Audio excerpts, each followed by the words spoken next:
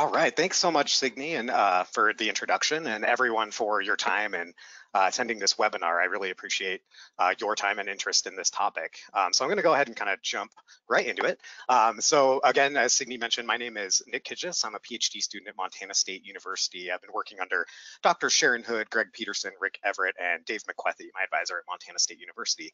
And I'm gonna be kind of presenting uh, the first uh, chapter of my dissertation research to you all today, um, which is looking at growth and defense, so uh, specifically resin-based uh, defenses, so resin duct characteristics um, in uh, this iconic species, white bark pine, which I'll uh, talk a little bit more about in a second here. Um, so uh, kind of just right off the bat, I want to give a big shout out and thank you uh, to the Confederated Salish and Kootenai tribes, as well as Salish Kootenai College, Salish and Kootenai Culture Committees, and the following individuals in particular, Rick Jensen, Tony Incashola Jr., Jim Durglo, and Michael Durglo Jr. Um, ultimately, this is a tribal project. All the data was collected on tribal land, and I'm just extremely uh, honored and privileged to have been able to take part in this research. Um, the areas that we were able to go to are really uh, really special places, and I'm just extremely grateful for the opportunity to have been involved in this in this work.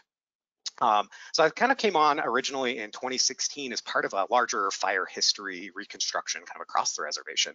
So as part of that effort, um, you know, uh, Rick and Dave and uh, others on my committee kind of found these, uh, this, established this network of sites across the reservation um, where we have um, tree ring data that we went and collected as well as um, nearby lakes. So we can look at the lake sediment and kind of tease apart longer histories of fire history um, in this area. And so as part of that effort, I was very fortunate to get a sample, um, you know, across these different sites um, between 2016, 2017, and 2018.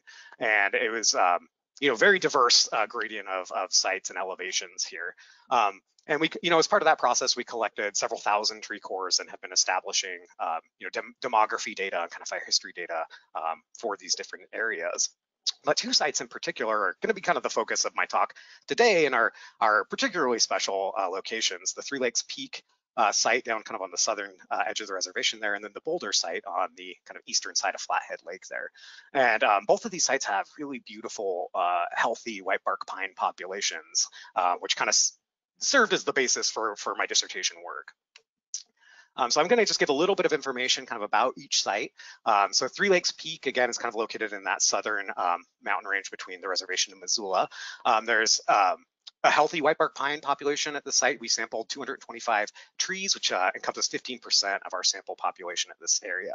Um, but mortality is also very high as it is in uh, for white bark pine kind of throughout the Northern Rockies um, with about 73% mortality at this location, uh, due largely to, to, documented instances of mountain pine beetle activity, especially in the 60s, 70s, and more recently in the 90s and kind of early 2000s, um, as well as white pine blister rust, which was kind of vectored into this broader region of the Rockies in the in the 1950s and is is, is, is prevalent um, at, at the sites.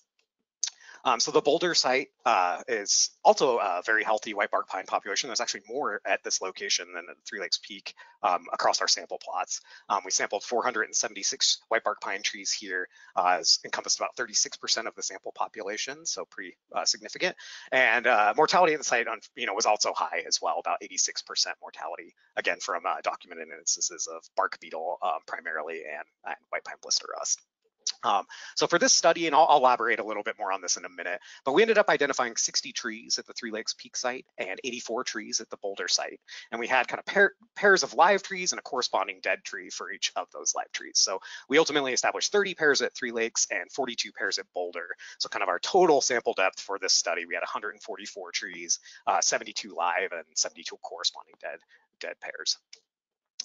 And you know, when I first got up there sampling, especially at Three Lakes and Boulder, I was just immediately um, kind of captivated, for lack of a better word, by just the dynamics I saw in these really amazing forests. Um, there is a lot going on in terms of uh, insect activity, um, fire, fire, uh, disease. I mean, there's all of these things are uh, are di very dynamic within this system. And I was really intrigued by, you know, kind of this contrasting image of these, uh, you know, these dead white bark pine trees, these kind of ghost white bark pine trees, um, and these contemporary live trees that are are just beautiful. I mean, the ones up there that the, the, the tribe specifically has identified are are, um, are amazing, very beautiful trees, uh, physiologically very healthy Um, so there's this kind of contrast at the site, and it just really kind of got me interested in thinking, like, wow, what what are some of the factors that may be just explaining so much of the dyna uh, the dynamics that we're seeing at this at this at these different locations? And as I mentioned, there's um, evidence of fire up there. So we got a lot of charcoal kind of on the boles of some of these older snags. And there's also uh, evidence of blister rust, as I mentioned before as well. Um, and you can kind of see the spores there on that upper right picture of the blister rust, blister rust fungus. All right. And there's other, all sorts of other disturbances up there too. Uh, some notably grizzly and black bears, uh, which fortunately we never had any um, scary close encounters in our sampling, but they're definitely up there and there are signs of, um, of them all over the place. And they very much interact with their environment and interact with these trees as well. So just a little bit about white bark pine. Um, for those of you who are unfamiliar, it's a very um, iconic tree species, considered a keystone species um, due to its kind of um, the, the uh, breadth of ecolog ecological services it provides, which I'll outline in a minute here. But I really fell in love with white bark pine um, as part of my forestry program when we were kind of learning about different tree species in the Western US. And there's just something about this tree that's really amazing, has a really neat story. And um, you know, again, just kind of the ecological importance of this species. So it grows at these high elevations where the roots typically help kind of stabilize rocky slopes, um, you know, increase soil soil stability, um, and through that, they actually also increase snowpack, you know, accumulation and retention times at these higher elevations and kind of modulate moisture loss um, to, to lower elevations. So they're hydrologically very important just based on kind of where they occur on the landscape. Um, but they're also a very important food source for a, a, wide variety of animals, particularly grizzly bears who rely on their, you know, very fatty and nutritious seeds, you know, roughly about 70 calories a seed. Um, so very nutritious as a, as a food source, especially in um, heading into, into the winter months. And one really neat thing about white bark pine is it's kind of, you know, over thousands of years has evolved this uh, relationship with Clark's nutcracker. It's a member of the corvid family. And these little birds are, are incredible. So they'll actually go around and uh, pick out a bunch of seeds and cache them kind of all over the landscape. And those, un, you know, those caches that are forgotten eventually will sprout, uh, you know, the white bark pine forest that that we see today. And I think one really neat thing about them is they they're very kind of peculiar in how they cache, and they like kind of open recently disturbed type of landscape. So, something you might see after a fire or after some other type of disturbance. And one big benefit of that is it gives white bark pine a really nice competitive advantage um, when it's cached into those areas directly because um, it's pretty hardy. I mean, pines in general are, are fairly hardy. Um, you know, typically grow well when conditions are favorable. Um, so it's kind of this neat, neat relationships that, that, has evolved. And we definitely, the whole time we were sampling, we saw the Clark's nutcrackers up there, and uh, they definitely were, you know, squawking at us when we were when we were uh, upset. Now we were too close and you know they they definitely they're just up there doing this all the time. It's pretty uh, remarkable to think about. Um, so really really important species. Um, but there's a lot of concern about the future of white bark pine um, especially in relation to things like fire. Um, so kind of the one of the thoughts is that uh, you know decades of fire suppression has potentially allowed for the buildup of fuels and especially um, shade tolerant species kind of in the understory. So species like subalpine fir and Engelmann spruce that could over time uh, overtop and kind of outcompete white bark pine. So fire in these systems, you know, they've evolved with fire. Um, it's in the northern Rockies where fire is a, is a very frequent and common disturbance um, or a very important disturbance, I should say. Um, so fire typically would kind of come through and you know clear some of the understory, uh, kind of prevent those seedlings from establishing. Um, so there is kind of the thought that potentially, you know, uh, century of fire suppression may have uh, altered uh, the fire regimes in some of these systems, which may have negative implications for white bark pine. Uh, kind of one of the other interesting things about fire and white bark pine is it seems uh, somewhat sensitive to fire. So despite having kind of evolved with this disturbance on the landscape, um, in some more kind of recent efforts to try to get fire back into white bark pine systems, primarily through prescribed fire, um, some of the results have actually been unexpected um, as far as mortality. So finding kind of unexpectedly high mortality post fire. Um, in some instances, as high as 50 plus percent of you know trees that weren't meant to die um, end up dying um, through those through those burn operations. So if we're not really fully sure yet, I'd say on kind of the the full role of fire in the white bark system. It's, it's very complicated for sure. Um, and it's definitely something that uh, warrants a lot of further uh, research. And on top of, um, you know, fire, uh, we also have good evidence of beetle activity at this site, again, uh, particularly through the uh, 60s, 50s and 60s, and then more recently in the 90s and kind of early 2000s. And there's uh, pretty extensive evidence of beetles at the site, um, in term, you know, including um, pitch on on trees that are um, under active attack, as well as um, the galleries on the kind of other underside of the bark tissue, uh, the larval galleries um, as well. And as I mentioned again, uh, blister rust is also common here. Um, we noted it on um, several, several of the individuals that we sampled. So kind of, you know, again, thinking back to just that really neat kind of delineation of these these kind of dead trees and and these corresponding live healthy trees which really got me thinking like what is it about those live trees that's allowing them to persist on this landscape and is there anything that we can uh, discern from these from the, the individuals who ultimately came to mortality. Um, so as part of my undergraduate work, I'd been kind of exposed to this uh, resin ducts and conifers through my advisor there, Dr. Jeffrey Kane at Humboldt State University. And uh, I was immediately enamored by kind of this concept of resin ducts. They're really, really neat. Um, so in conifers and pines in particular, you know, they develop these resin duct structures annually, um, just as they do tree rings. So we can actually go back in time and, and look at these and measure them and get some some sort of idea for how the tree was allocating resources to both growth, you know, the ring widths, as well as to uh, resin-based defenses, so specifically these resin duct structures. And the resin ducts allow pines to kind of produce mobilize and store uh, this oleo resin, um, which it then flushes through the resin duct network to sites of injury. So say uh, an active attack by a bark beetle or a fungal um, infection. So the system will kind of flush those areas with this oleo resin, which is loaded with all sorts of compounds uh, particularly mono, sesqui, and diterpenes um, that have really demonstrated uh, insecticidal and fungicidal properties. Um, in addition, the resin itself is just, it's viscous, it's thick, it's a mechanical deterrent for the beetles, in addition to being a kind of a chemical, chemically toxic. Um, I'll elaborate a little bit more on that kind of toward the end of my talk when I um, go into kind of my next phase of my research here. But uh, just this idea of kind of resin ducts as a, as a proxy for tree defense um, is really interesting to me and kind of got my mind thinking about how we could work um, use that in this kind of system. And so more recently in the past, um, you know, decade in particular, there's been kind of a growing number of studies that have looked at these resin duct characteristics, um, specifically in scenarios of bark beetle activity. And there's been some findings that have shown pretty clear distinctions or differences in resin duct properties between these trees that you know persist through these these bark beetle outbreaks and the trees that ultimately die in the, as part of these outbreaks. And uh, a lot of these studies um, have been, you know, kind of pioneered by by my committee member Sharon Hood. She's done a lot of really incredible work um, in that sense. And so, you know, a lot of work has been done on ponderosa pine, uh, lodgepole pine. There's uh, Scott Ferrenberg did a really nice study looking at kind of lodgepole and limber pine resin duct characteristics. Um, Monica Gaylord's looked at, uh, you know, some resin duct characteristics in uh, pinyon pine, kind of down in the southwestern U.S. But really, nothing had been applied to white bark pine uh, ecosystems. Kind of um, one of the closer studies was looking at, uh, you know, resin ducts in sugar pine, kind of in response to disturbance, but um, really nothing for for white bark pine per se. So this seemed like a really neat kind of opportunity to apply some of those same techniques that have been used in other studies into this, you know, novel white bark pine ecosystem.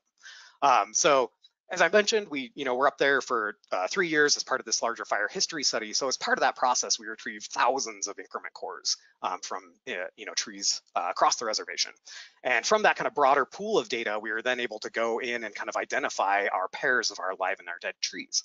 And we were really, uh, uh, we had a good, uh, we were pretty conservative in how we paired individuals because we tried, we wanted to try to control for differences in size and, and biological development, you know, ontogeny, as well as um, differences in microsite characteristics because you know just a little bit of a difference in aspect can have big you know big differences for soil moisture and biologically available water and things like that. So um, we really try, wanted to try to control for that in so much as we could. Um, so we paired our trees based on size. So they had to be no, there had to be a difference of no greater than three centimeter DBH.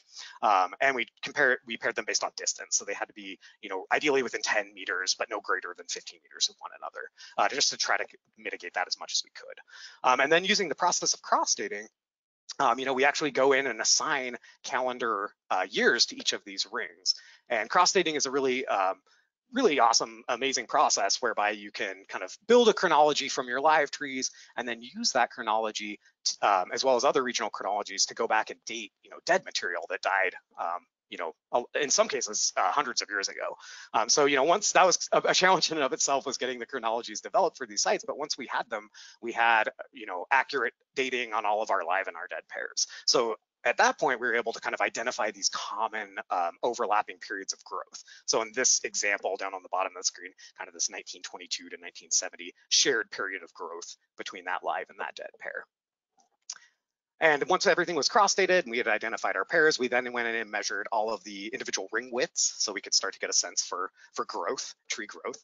And we measured all of the resin ducts as well uh, to get, a, again, a sense of, of defense, so these resin-based defenses.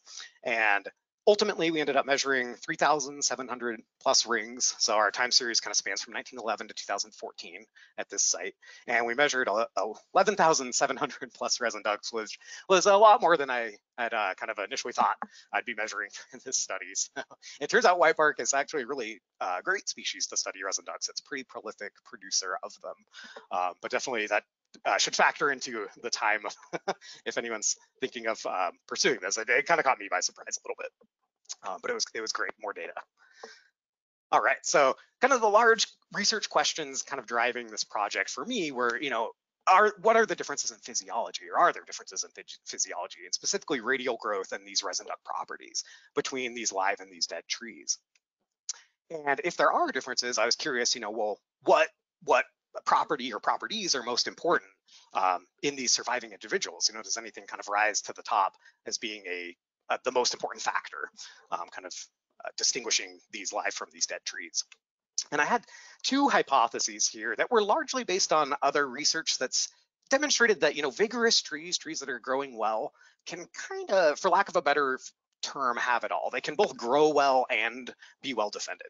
Um, they essentially just have access to a larger carbon pool, whether that be through um, maybe superior competitive advantage um, or just genetics. Maybe they're just a better competitor. But typically, um, you know, these trees that are, are vigorous and are growing well um, can also have robust resin-based defenses. Um, you know, there's not a lot of evidence for a trade-off per se between those two things. So just kind of out of these this larger set of studies, I hypothesized that hey, well, the live white bark pine that are up on um, the site and that have persisted through these um, you know recent bark beetle disturbances are probably better growers, so they're probably going to grow more than their dead counterparts over the full record. Um, and because they're, you know, just better competitors, they're going to have more carbon to use every year, so they're going to just invest more of that as well into resin-based defenses. So I kind of hypothesized that they would not only grow more than the dead trees, but they'd have more robust defensive features. So specifically larger resin ducts, producing more resin ducts, things like that. Um, so I'm going to get kind of right into the results now, which uh, kind of agreed and disagreed with my hypotheses a little bit. Uh, so we're going to talk about growth first, and I'm just going to take a quick minute on this first slide to kind of walk you through some of the figures because you're going to see them on the next few slides as well. Um, so up in the top left here, this is just a kernel density plot, which looks at the relative distribution of whatever variable. So in this case, growth um, between our live and our dead trees. So live being that kind of green color and then dead being that kind of tan color. And surprisingly, kind of over the full record, we saw that the dead trees actually grew more, 22% more than the live trees on average over their full record. So it's kind of counter to what I had thought I would see. Um, and then this is a plot that I just pulled up. Is uh, I'll explain this one too because you're going to see this in the next few slides for the other metrics we'll look at. Um, but this is essentially just a difference plot. So on the x-axis we have year, so the year of our uh, time series.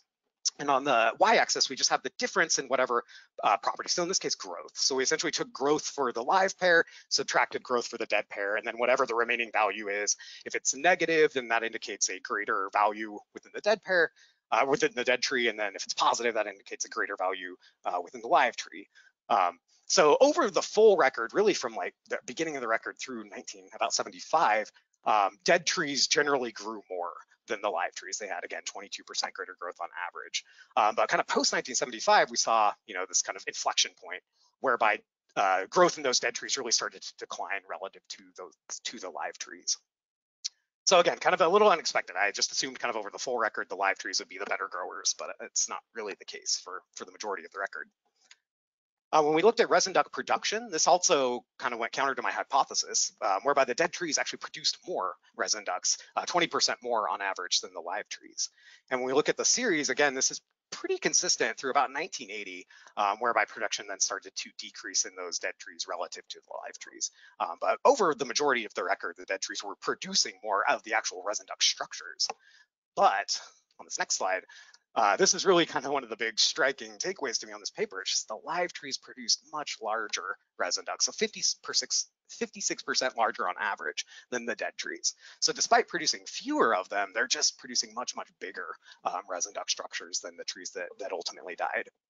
And when we look at kind of, again, the time series of this, we really see um, you know, over the full record, uh, the, the live trees were just consistently producing larger resin ducts than, than their dead pairs.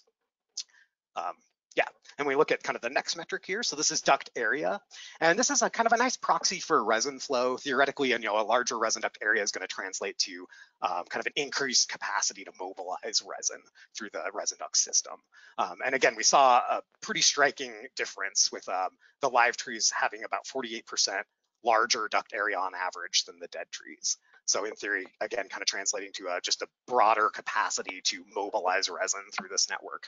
Um, and again, this was a consistent trend over the full time series uh, for the live trees, whereby they're just always producing larger resin ducts with a greater kind of duct area relative to those dead trees.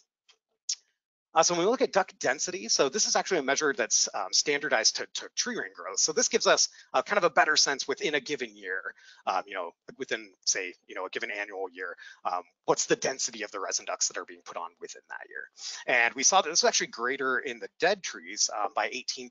So they were they had a greater density overall than the live trees. Uh, but when we look at the time series, you know, this is there wasn't really much of a difference until about kind of 1975, whereby density started to increase, resin duct density started to increase in those dead trees relative to the live trees. Um, and I kind of interpreted this somewhat as a um, somewhat of a stress response. You know, as these trees are kind of fading off the landscape, um, they're producing more ducts, so the density is going up, um, but they're smaller. Um, than the, than the live trees. And really, I, I kind of, again, interpreted that as a stress response. Like they're fading off the landscape. They're just going to start they're producing more ducts. As kind of a last ditch effort to um, you know bolster those those defenses. Um, but ultimately you know succumb to mortality uh, but that was a little interesting as well. I kind of again thought that the live trees would just have kind of broader uh, density and, and broader size and everything than the dead trees. So that was a little bit surprising um, and then relative duct area. So this is another measure that's standardized to tree ring growth. And this gives us kind of a snapshot for, hey, in a given year, what percent of carbon are you allocating to growth and to these resin duct prop, you know, resin duct uh, structures. And again, this was a big kind of takeaway about 57% uh, larger relative investment annually in these live trees in, into these resin duct structures than the dead trees. Um, and this was consistent over the full length of the record. Um, we didn't really have a, a, trend in the time series, but just over the full record, these live trees, again, we're not only producing larger resin ducts, but we're using a greater percentage of their annual carbon um, into the development of these resin duct features relative to the trees that ultimately died. And kind of when we plot all, you know, we pool all this together and kind of plot it out. Uh, so this is a principal component analysis, which is kind of a nice way of distilling down some really um, uh, high level data into kind of a nice uh, visual representation. So we have kind of two axes here depicted. And we kind of see these two groups really separate out, our live trees and our dead trees, based purely on kind of resin duct morphology. So kind of uh, splitting them along the uh, dimension one there. So things like differences in resin duct size, area, and, and, relative duct area, which are all greater in our live trees, and duct density, which is greater in our, our dead trees, kind of pulling out the data there. Um, and then in PC2, um, our growth and our resin duct production, which again, were greater in the dead trees, kind of pulling out uh, variability there. Um, so overall, you know, just differences in this in these resin duct properties explained a considerable amount, about 75% of variability within the data. Um, and we did again see this clear distinction um, between live and dead trees, um, some clear differences in the resin duct characteristics. And these are kind of the last two plots I'm going to show you on this study, but these are just conditional density plots. It's kind of just another way to look at the data. This essentially just describes how the distribution of a categorical variable, so in this case, live or dead, is going to change over a numerical variable. So in this case, resin duct size. And there's a lot I'm kind of glossing over in this paper. One of the things we did was um, some logistic regression modeling to try to identify what variables are most important in influencing mortality. And we kind of came away in all of our top models, it was resin duct size and relative duct area were the big ones that kind of consistently came up in our top model. So we kind of interpreted that as those being the kind of most important factors or the the biggest factors, the biggest differences between these live and these dead trees. Um, so with resin duct size, you know, when we plotted this, we almost saw this kind of immediate threshold right at around 0.01 millimeters, uh, square millimeters on resin duct size, whereby if you're a tree that's producing you know, that or larger resin ducts, you have a much greater probability of surviving on this landscape. Whereas based on this data and this context, if you're one of the trees producing smaller resin ducts than that on average, you have a much greater probability of mortality at this site. And similar, when we look at resin duct relative area, we kind of, again, just saw this threshold whereby if you're allocating a certain percentage of your carbon uh, to resin duct structures, um, you know, if you're invest at least that amount, you're going to have a much greater probability of survival, whereby if you invest less than that amount, you're going to have an increasingly higher chance of mortality at the site.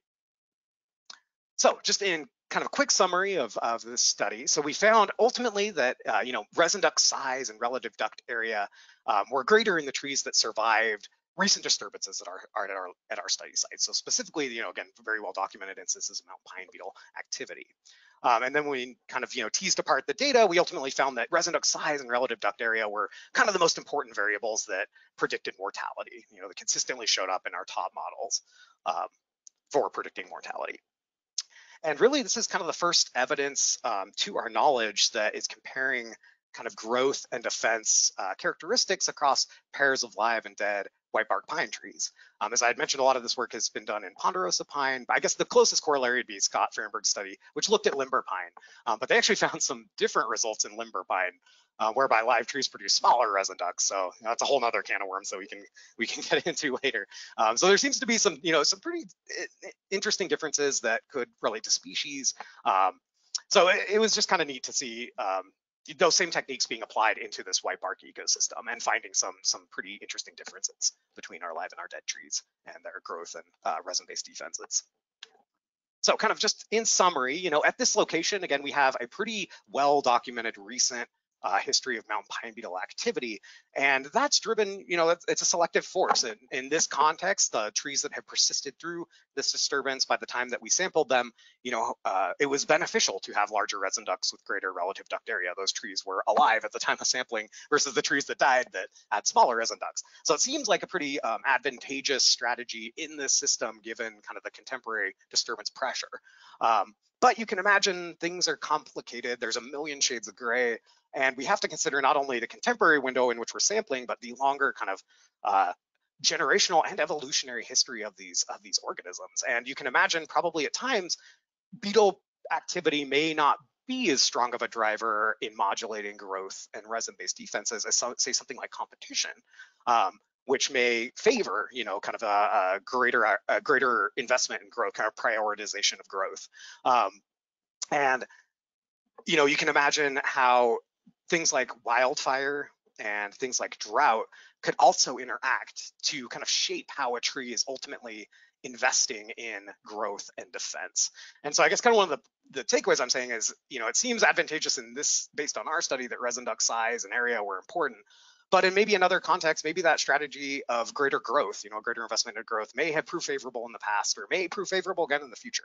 Um, so it's, I think one of the biggest things is that you know these multiple disturbances interact over uh, very complicated timescales and select for different growth and defense strategies in white bark pine. And it's difficult to say like one strategy is better over another. We just have to recognize that there's there's important differences, and and some strategies may play out favorably under a certain set of conditions, and other strategies may play out favorably under a different set of conditions. And so I think really it's important, the, the biggest takeaway to me is it's just incredibly important to maintain genetic diversity within these landscapes. Um, kind of by maintaining that diversity, we're buffering ourselves against future and, and often unpredictable changes in, in climate, in species interactions, in uh, you know, trophic interactions and things like that. Um, so, you know, a, a, great example is um, kind of the prevalence of, um, you know, rust resistance, which is, is incredible um, kind of feat of engineering and human creativity um, to be able to kind of distill down the the gene in conifers that confers resistance to white pine blister rust.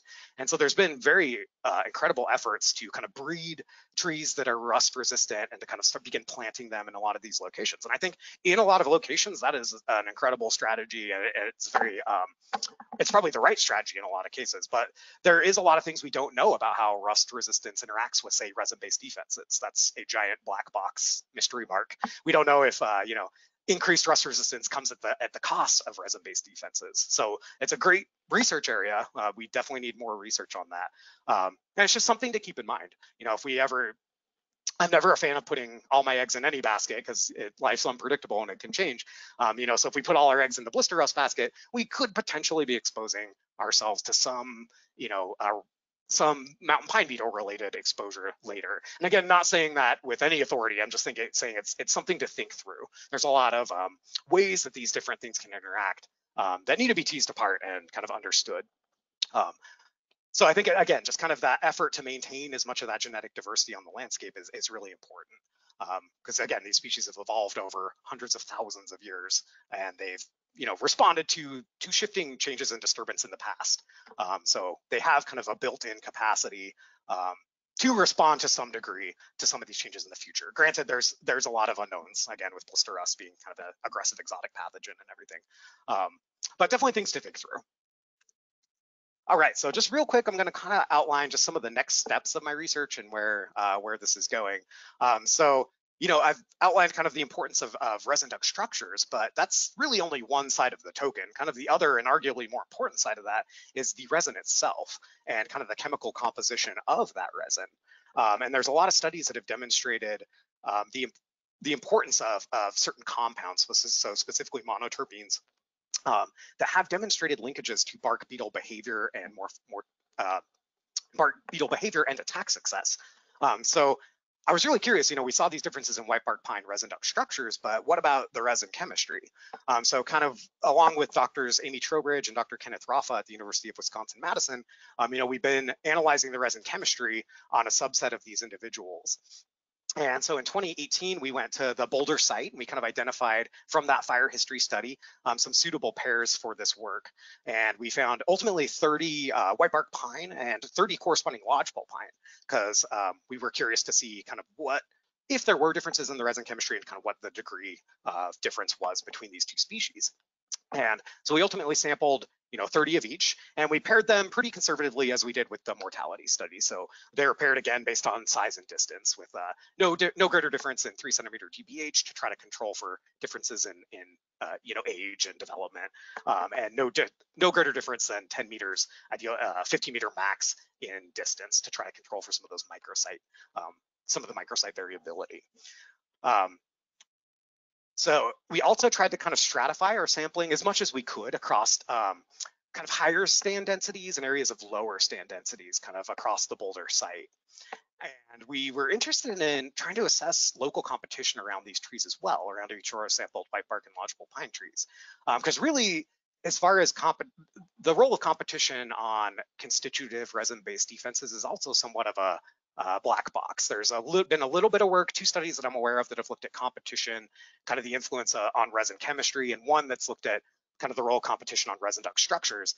Uh, but it's definitely an area that's um, pretty uh, poorly understood. So we thought maybe we could try to uh, look at the kind of competition around these individuals and see if that had any um, influence on, on the resin chemistry, the constitutive chemistry. So within that vein, we kind of sampled everything greater than one centimeter DBH within five meters of each of our focal trees, each of our white bark and lodgepole pine. And then to a distance of 10 meters, we became a little uh, little more conservative and we sampled everything that was over five centimeter DBH. Just to again, try to get a sense of, hey, does the local uh, density and composition of species um, have an influence on, on resin duct structures and constitutive resin chemistry? And so we removed a, a small piece of uh, the phloem tissue as part of that effort, and that was put on dry ice and shipped to the University of Montana, where we uh, processed these samples. So you have to finally chop them up and then distill them through uh, couple different compounds depending on what you're processing for. Uh, so diterpenes, for instance, are processed very differently um, from mono and sesquiterpenes. Um, so we were eventually able to kind of process um, samples for our 60 trees and running using the gas chromatography mass spectrometer, we were able to develop uh, chromatographs um, which is basically just a signature of all of the chemical compounds in, in that resin sample and that uh, phloem sample. And with a good deal of patience and training from Dr. Strobridge and Raffa, I was able to eventually kind of uh, build a chemical profile for the white bark and the lodgepole pine trees. And this is the only figure I'm going to show you from this study. Um, I don't want to put the cart before the horse on this study. It's still kind of under, it's under review right now. Um, but we did see some really clear differences in the resin chemistry between these two species. And I think um, you know, specifically in regards to some of the compounds that we saw, there's some really interesting things going on. Um, so I'm just going to highlight a few really quickly, and then I'm going to kind of end it here. Um, but really, in our lodgepole pine trees, we see this much greater concentration of alpha and beta phellandrene. Which I don't know if you can see my cursor right now, but I'm going to kind of hover over those. And beta phellandrene in particular is a compound that bark beetles use for host identification. So as they're you know flying over the landscape, they don't rely on eyesight like uh, me and you to you know find their trees. They rely on kind of the chemical bouquet that these trees are emitting to find the individuals that they're ultimately going to colonize. And beta phellandrene is a big part of that of that process. They tend to just hone in on this compound, which is produced in much greater quantities in lodgepole pine.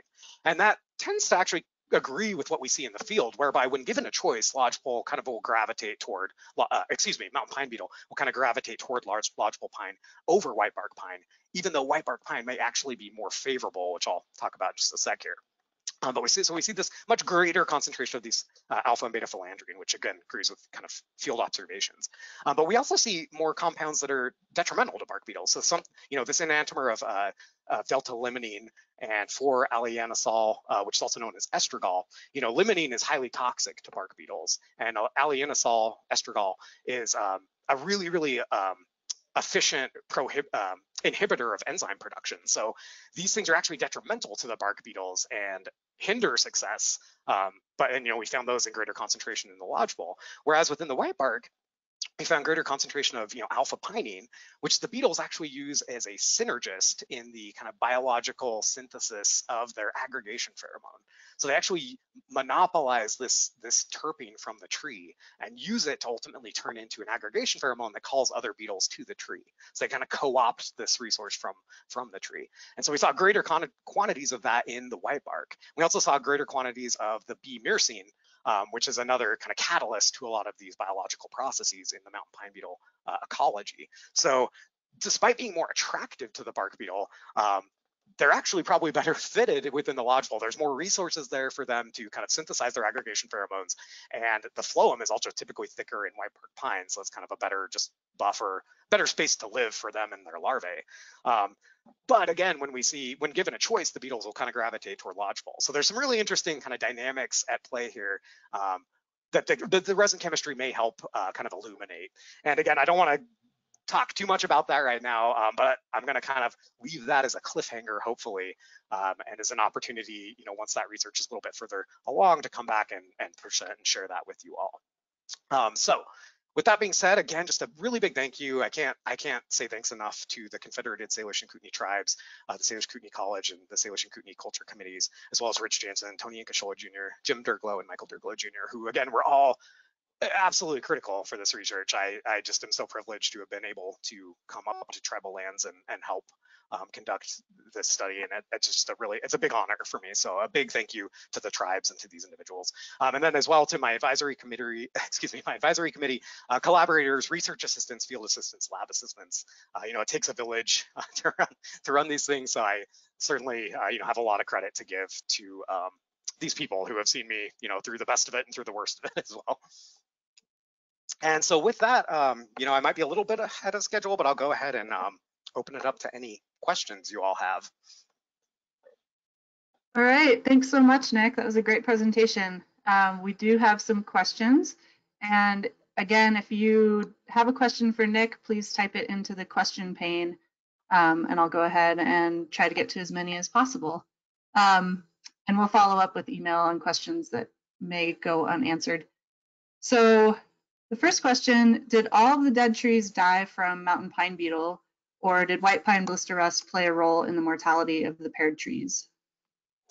That's a really good question, and honestly, we don't, we can't say for sure because we weren't up there um, when the trees died.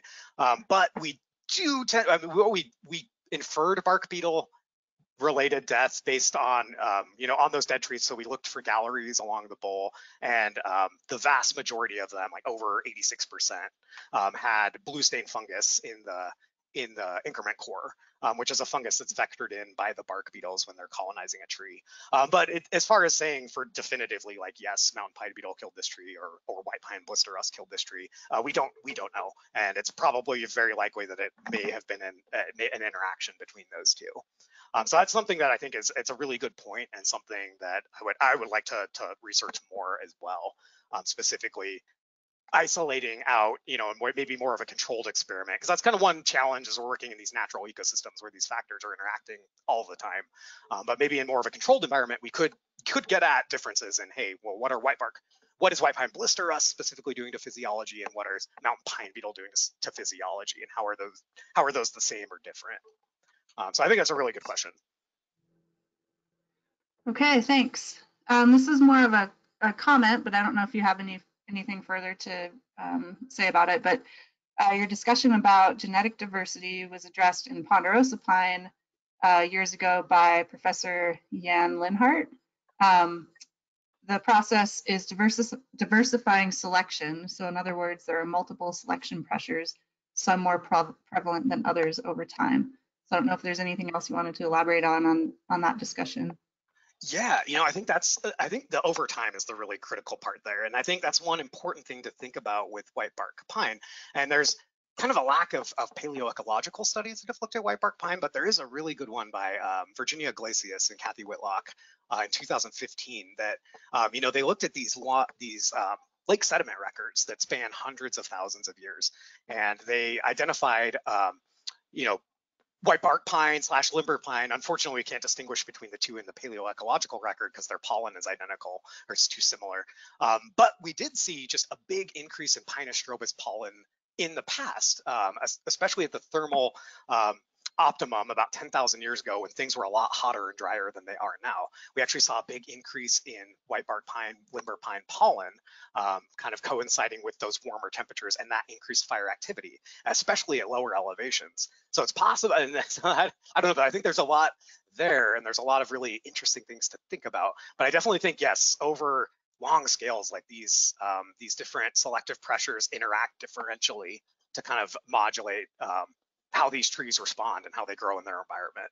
So I guess it's a, it's a really, really important point, and I think uh, definitely kind of another uh, research need for not only white bark pine, but a lot of pines in particular, like how, um, you, you, know, because another big thing about resin duct development, and this is, I'm going off on a tangent now, so I'll, I'll cut myself short, but we don't really know how resin ducts change over the growth of a tree either, over the life of a tree. Um, you know, how does a resin duct anatomy in a 10 year old ponderosa pine you know differ from a 50 year old ponderosa pine like we could make some pretty educated guesses and we'd probably be you know pretty close but we did there's no studies that have specifically looked at that. So i think there's a lot of variables there to think through. Uh, but yeah really really great comment. Great thank you. Um, okay did you do any correlations with resin ducts like size or number with the presence of blister rust uh, you know, we we didn't do any sort of um, correlation with blister rust just because we didn't have, again, kind of um, clear indication in a lot of the samples that the tree was specifically killed by blister rust. So again, I think that'd be something I'd be really interested in looking at in maybe a future study is really saying like, hey, we know these trees have blister rust. Let's go specifically target them. Um, because you know we were kind of we were sampling within that broader fire history study so we stuck to the fire history plots and we didn't do any sort of opportunistic sampling. So we were kind of just sampling with trees that had already been um, identified and mapped as part of that study. Um, but i think what would be really neat is to go yeah look at specifically hey this tree has blister rust.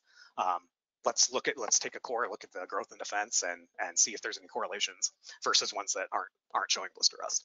So yeah i think that's a, a great avenue for future research Okay, and this is a question I also had. It seems like there's a clear deflection point around 1975. Are there any environmental or weather data sets that can give some insight into a possible driver of the difference in tree responses?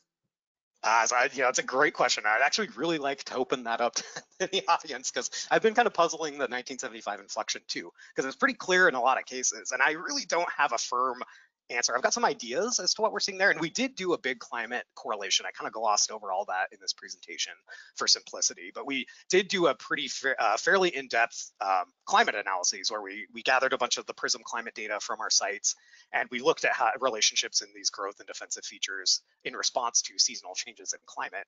And really, we didn't see. Uh, I mean, the biggest thing we saw was just a uh, a deviation between live and dead trees, kind of post almost post 1950, you know, 1960s, kind of leading into the 1970s, whereby those dead trees really stopped responding the same way to climate that the live trees did. So for instance, the live trees just negatively had a negative, a consistent negative response to winter precipitation in growth and resin duct development. So the more precipitation or the more snow was on the ground, it was essentially limiting photosynthesis. They weren't, you know, acquiring as much carbon. So growth and resin duct development both suffered.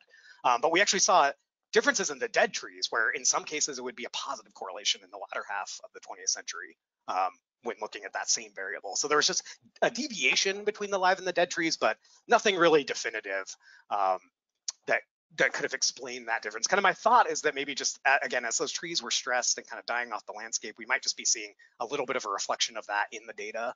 Um, but there's other things to think about too. I mean, as far as uh, you know, I had someone once propose that it could be we could that could be a, a signal of a CO2 fertilization, for instance, where you know more CO2, the trees are responding with increased growth, the live trees relative to the dead trees. I don't feel confident enough to say that's the case, but um, I definitely think it's there's probably multiple factors that are influencing that. And I, I'm very curious for anyone to talk to anyone about that because it, it is a really kind of interesting trend um, that I think is uh, it's it's a head scratcher. It's definitely something to think about.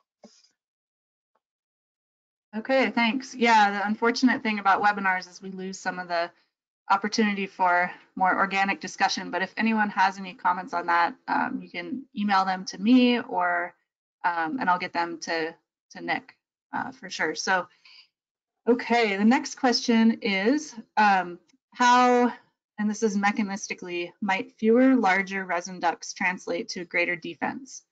So uh, the person who asked this understands that greater duct area would equal more potential for resin transport, which should translate to more available resin. But is there greater efficiency of flow um, and of investment in duct structure, like via reduced surface area to volume ratio? Ooh, you know, that's a really good question. And um, you know, I think that's that's actually kind of another thing that that probably warrants further research because there's, you know, one thing we do know about about resin is it's um, very sensitive to changes in in temperature. Um, so you know, when it's cold, it becomes a lot thicker um, versus when it's warm, it flows a lot more freely.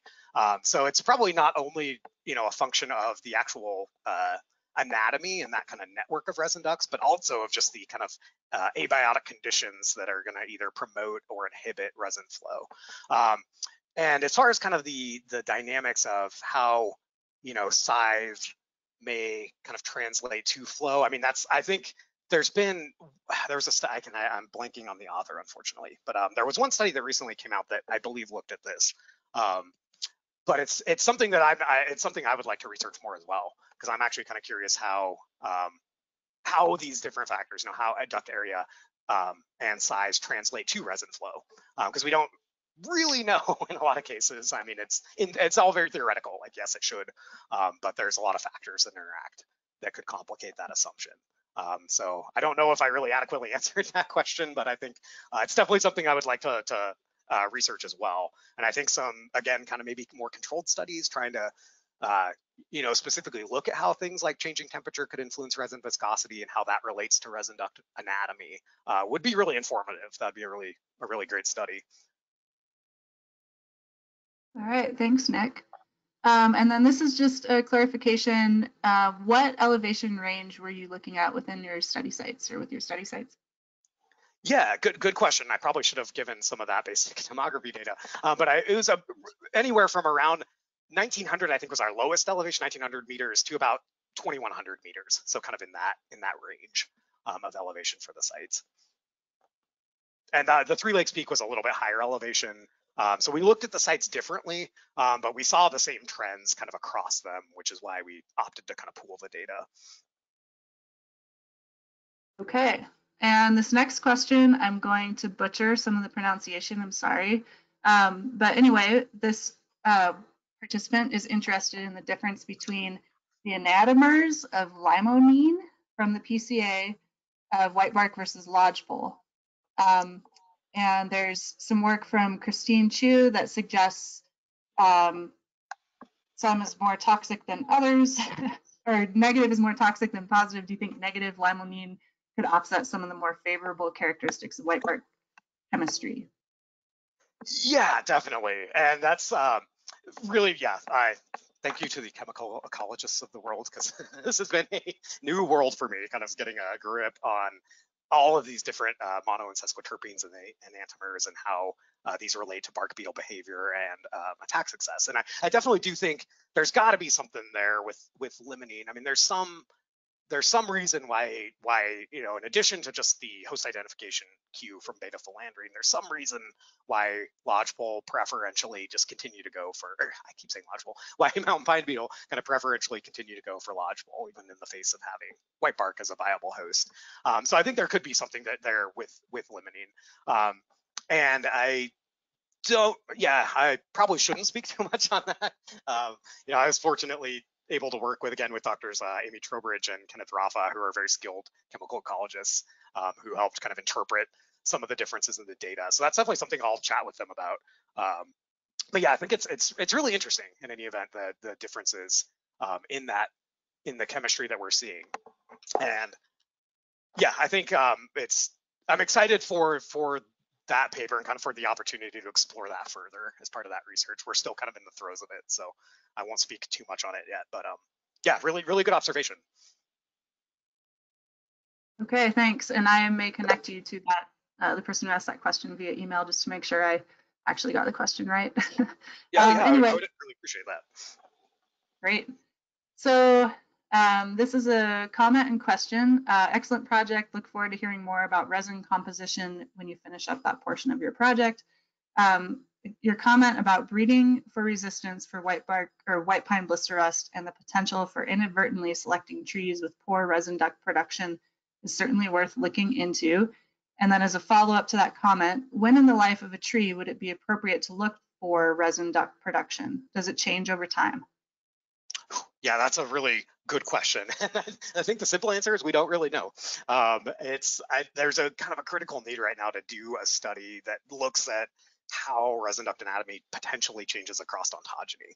Um, so we don't really know, you know, again, a lot of seedling, a lot of common garden experiments have looked at resin duct characteristics in seedlings, um, but that's very different from, you know, a, uh, a tree growing in kind of a natural mixed conifer forest. Um, so just it's it's really hard to tease apart in those natural settings, kind of what factors, you know, whether it be again some some combination of maybe microsite favorability or genetics, probably genetics, that's um, you know allowing these trees to kind of uh, have these different investments in in growth and resin ducts.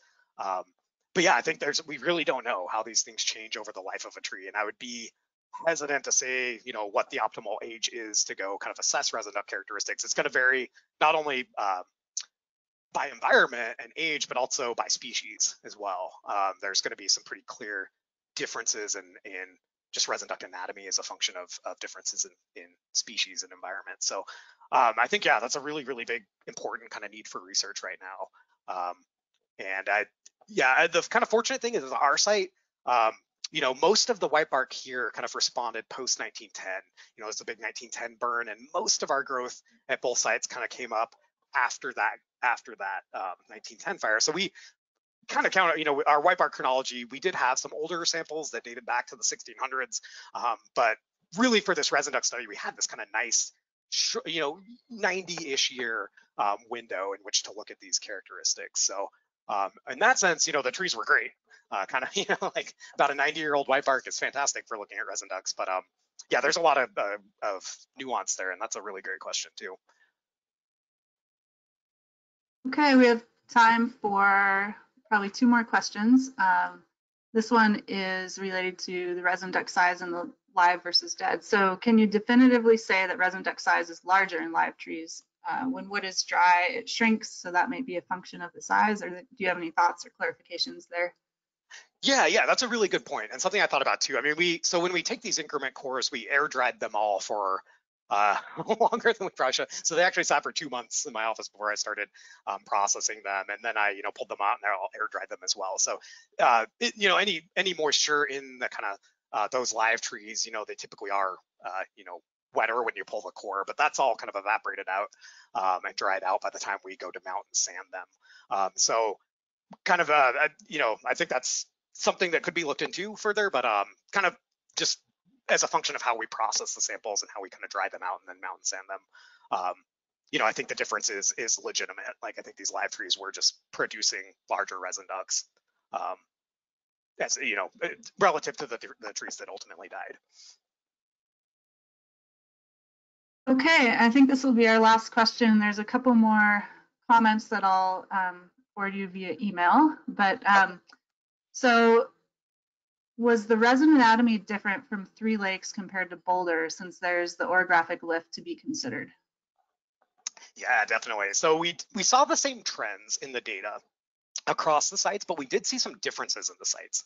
And I'm actually going to tease that a little bit too, because that's uh, kind of the third chapter of my dissertation is really delving into, hey, what what are the differences in climate and in uh, aspect elevation slope you know these little these little things about topography uh, and how do those shape the differences we're seeing at the sites so um, for instance despite having the same trends between growth and defense and mortality um, the resin ducts typically were larger at the Boulder site. Uh, it's a wetter site, so it receives more moisture. Um, you know, it's kind of right off Flathead Lake there than the Three Lake site. Um, so that's something that I'm kind of currently exploring is, you know, what environmental factors, what climatic factors um, could be contributing to the differences we're seeing in resin ducts between sites.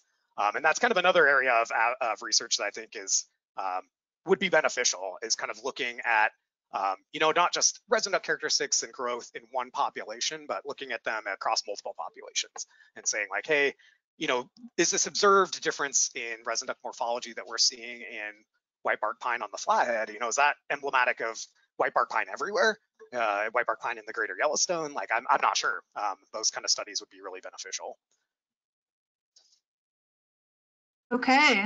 Well, thanks so much, Nick. We're going to go ahead and wrap things up. Um, thanks all of you for being here uh, for the webinar. And again, you'll notice when you close out the webinar, a survey will pop up and please just take a moment to give us some quick feedback. We really value it and um, actually use that to identify future research needs and that sort of thing. So uh, hope you all have a great day and thanks again for your participation. Great, thanks so much, Signe, and thanks everyone. I really appreciate the wonderful comments and questions. I, I really appreciate the opportunity to share this research with you. And yeah, thanks so much for the opportunity. I hope to be able to do it again. All right, take care, everyone.